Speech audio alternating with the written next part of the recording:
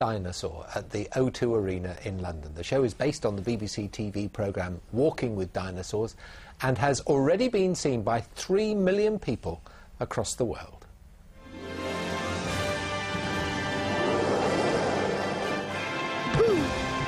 It's many a boy's dream to play with dinosaurs, but it's not everyone's dad who gets to drive one.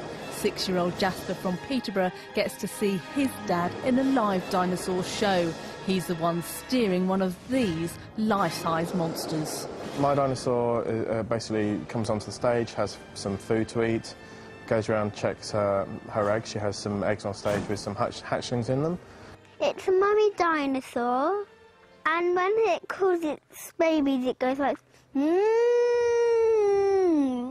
You can't see very much from inside the dinosaur. You're basically directed around the stage um, uh, by the uh, voodoo operators, the puppeteers. Um, we do have some visibility where we do take control, but most of the, most of the time we are um, driving blind, for want of a better word. Dad is away touring for a whole year, which is hard on family life, but it's a dream job and exciting when they see the show. Seeing him moving around in the dinosaurs, it, you, you do forget. You know that your husband's underneath this huge thing driving it, but you're just swept up in it and you're, see, you're seeing a dinosaur move. And you've never seen one of those before, so you know. So it's quite exciting. You do kind of get swept up in the in the show. it, it is amazing. You can't really see him because he's underneath and he's hidden by lots of gauze and things. But um, you know, I know he's there. Each dinosaur has a driver and two puppeteers, one operating head and tail, the other making it blink and roar. But for a six foot tall dad, it's a tight squeeze. He's really good of it, and he has a car license, and he has and and and now he has a Dinosaur license. dinosaur, dinosaur license. Emma Bohr, BBC Look East, Peterborough. Fun. It must be great. And what a cool job to say your dad But there are three of them in there. Yeah, well, it's quite big, It's isn't great, it? isn't it? Bit bigger than a car. Yeah, I wonder whether you, whether, whether you have to take an MOT, uh, a, a, a driving test. Well, it. as you say, he needs a dinosaur driving Yes. licence, didn't he? Bless. I like the idea of one of those. that looked like a lot of fun, a lot more fun than driving my car.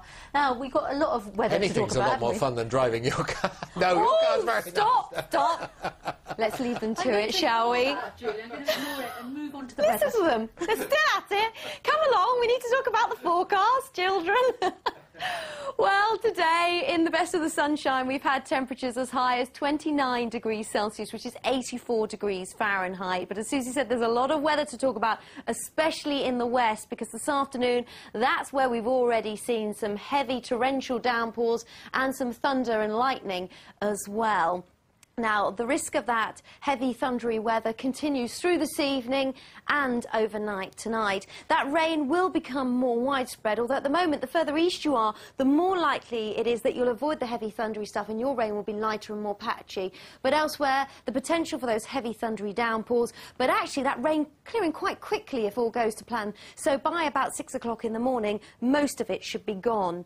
Now, uh, temperatures around 14 to 16 Celsius after a very humid day. It's going to be a pretty sticky night. These will be the lowest values probably towards the end of the night. So for much of the time, it is going to be much warmer than this. And the winds just a very light north to northwesterly. So tomorrow, how quickly that rain actually clears towards the end of the night depends on how quickly this weather front pulls away. Now, at the moment, it looks like it's going to rattle through quite quickly. So, as I said, that rain should disappear away to the north. And apart from a few more showers feeding back down from the northwest, it should be largely dry.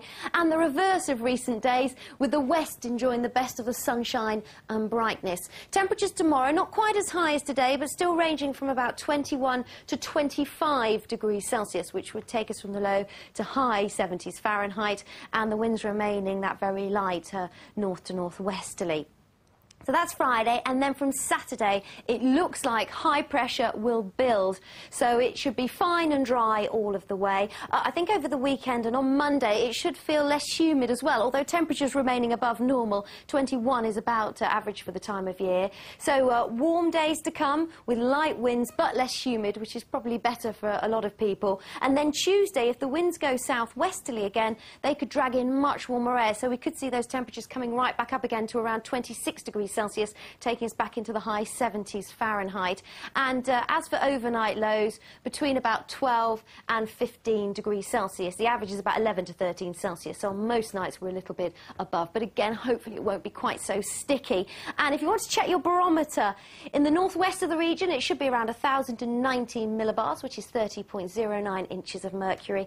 And in the southeast, it should be around 1,018 millibars, which is 30.06 inches of mercury.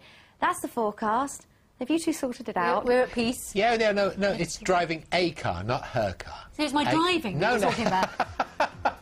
Goodbye. Good night.